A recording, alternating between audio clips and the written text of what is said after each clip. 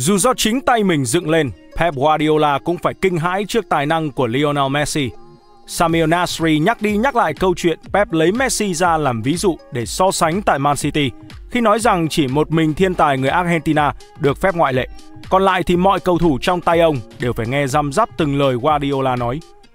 Như một điều không cần phải bàn cãi, ở thời đỉnh cao, game là dễ với Messi.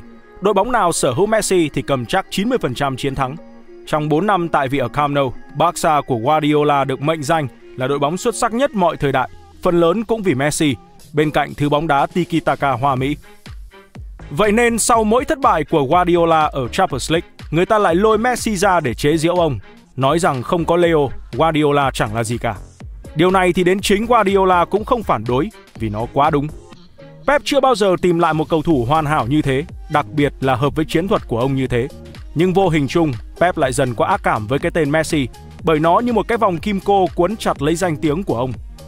Để đột phá trong sự nghiệp, Pep phải phá được sự mặc định này. Chính tay ông phải dựng lên được một đội bóng vĩ đại nhất mọi thời đại, vượt qua cả Barca huyền thoại ngày trước và quan trọng nhất là không cần nhờ tới Messi. Và sau 7 năm miệt mài nhào nặn ở Manchester, có vẻ như Guardiola cũng đã có được đội hình trong mơ với thứ bóng đá tiên tiến còn hơn cả Tiki-taka bản gốc. Không có nghệ thuật nói quá ở đây, chứng kiến Man City chơi thứ bóng đá đến từ hành tinh khác trước Real Madrid, người ta tự hỏi đội bóng nào thật sự đủ tầm để ngăn cản thầy trò Pep Guardiola. Trên tờ Marca, cây bút Juan Ignacio Garcia Ochoa bình luận Mọi thứ kết thúc với Real Madrid chỉ sau 5 phút bóng lăn trên sân Etihad khi họ không thực hiện nổi hai đường truyền liên tiếp. Trong hiệp 1, nhà đương kim vô địch Champions League bị xé nát ra từng mảnh. Họ cầm bóng chỉ 28% và có 10 lần chạm bóng trong 1 phần 3 cuối sân của Man City. Man City thực sự là cơn cuồng phong có thể cuốn trôi bất kỳ đội nào, kể cả khi đó là câu lạc bộ có đến 11 Antonio Rudiger trong đội hình. Trong trận tái đấu giữa Man City và Real Madrid trên sân Etihad, Carlo Ancelotti chơi một canh bạc khi để trung vệ người Đức ngồi ngoài, dù rằng ở Bernabeu thì anh đá rất hay. Nhưng kể cả khi có Rudiger, Real Madrid cũng khó làm nên kỳ diệu.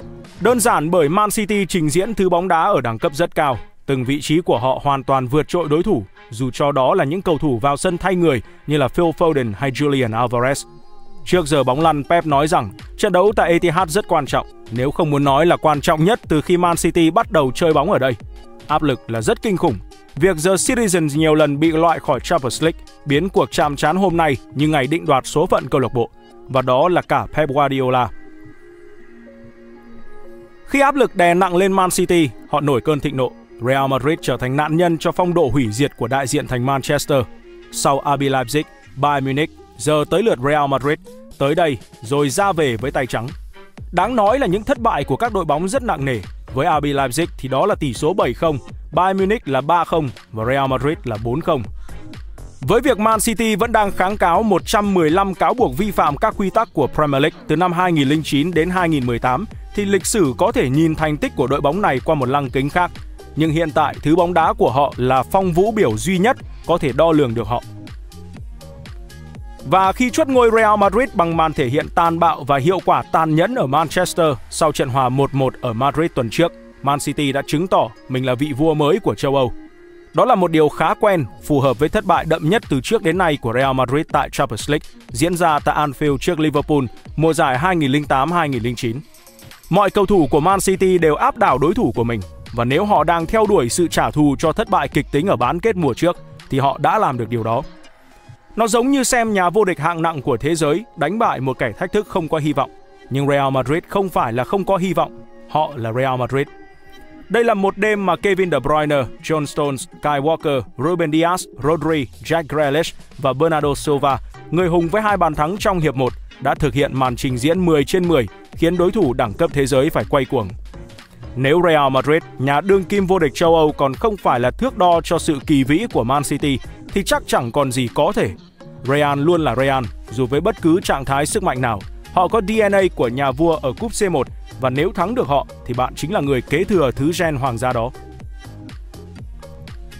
Đã đến lúc thế giới phải nhìn Man City bằng một con mắt khác. Sau quá nhiều lần đau khổ, cậu thiếu gia City năm nào giờ đã thực sự trưởng thành. Giống như mang huyết thống của người Saiyan, sau mỗi lần bầm dập mà không chết, City sẽ là càng mạnh hơn trước. Đến lúc này thì sau quá nhiều lần vấp ngã rồi hồi sinh, City đã đạt trình độ hoàng kim. Đến một người như Pep luôn thích chơi chữ thể hiện sự kiêu ngạo qua những câu nói bọc trong sự khiêm tốn, cũng không còn muốn giấu giếm sự hạnh phúc với trình độ thượng hạng của các học trò. Cách đây không lâu, Guardiola nói thẳng với báo giới theo cách nửa đùa nửa thật rằng dù ông có đạt được thành tích gì thì vẫn luôn là một kẻ thất bại trong mắt người hâm mộ. Tuy nhiên, trước trận tái đấu với Real Madrid ở bán kết lượt về Champions League, lượt đi hai đội hòa 1-1, chiến lược gia người Tây Ban Nha cho biết là dù không vô địch cúp châu Âu thêm lần nào nữa đi thì di sản của tôi vốn đã xuất chúng rồi. Tôi đã ở đây rất nhiều năm, Guardiola khẳng định, di sản chính là chúng tôi đã thi đấu ở đẳng cấp cao trong rất nhiều năm. Trong nhiều năm tới, người ta sẽ nhớ về một thế hệ cầu thủ đã ghi rất nhiều bàn thắng, thủng lưới rất ít, giành được vô số danh hiệu trong 5 đến 6 năm liên tiếp. Mọi người nên nhớ những thứ đó, đây sẽ là một cuốn sách hay. Mà dù người ta có nhớ đến hay không thì chúng tôi thực sự đã có một quãng thời gian tuyệt vời. Guardiola chốt lại. Chiếc cúp Premier League gần như đã nằm sẵn trong túi. Thầy trò Guardiola chỉ cần 3 điểm trong 3 trận còn lại để giành danh hiệu vô địch quốc gia mùa thứ ba liên tiếp. Man City rõ ràng được đánh giá cao hơn Man United trong trận chung kết FA Cup. Trước khi chung kết Champions League diễn ra, tất cả đều đặt cửa vô địch cho Man City. Vậy thì Man City mạnh cỡ nào? Họ có thể giành chức vô địch Premier League thứ 5 trong 6 mùa giải và là ứng cử viên nặng ký để đánh bại Man United trong trận chung kết FA Cup tại Wembley. Chiến thắng trước Real Madrid có lẽ là màn trình diễn hay nhất của một đội bóng ở mùa này. Barcelona hoàn hảo trước Man United ở chung kết Champions League 2011 có lẽ cũng chỉ đến thế này mà thôi. Phải là một phù thủy mới có thể hô biến gã quý tộc Real Madrid thành một con búp bê trong cửa hàng đồ cũ. Phải là một biên đạo múa kỳ tài, ám ảnh bởi sự hoàn hảo tới mức một vũ công như Kevin De Bruyne cũng nổi nóng phản kháng. Phải là bậc thầy như Guardiola mới hướng tới kỳ tích vô tiền khoáng hậu, giành cú ăn ba với hai đội khác nhau. Trong suốt 12 năm mòn mỏi tìm kiếm danh hiệu vô địch Champions League, Guardiola sống trong sự gièm pha về việc ông không thể làm được điều đó nếu thiếu Lionel Messi. Chiến thắng tuyệt đối của Man City trước Real Madrid đã đập vỡ thành kiến phiến diện này.